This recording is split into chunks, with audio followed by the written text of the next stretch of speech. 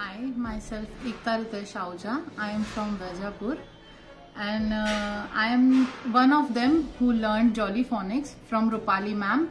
She is uh, actually a owner director of uh, Me Kids Academy and uh, she taught us so well. Learning from her was very overwhelming because she gave us so deep knowledge. So I have that confidence that I can teach kids now.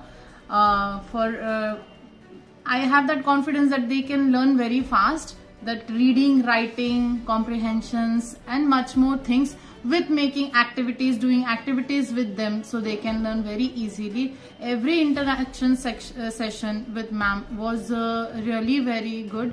Ma'am gave us so good knowledge, deep knowledge that uh, there is a different kind of uh, confidence in us that are now me or my batchmates, whoever, we can teach very well. That's one thing positive.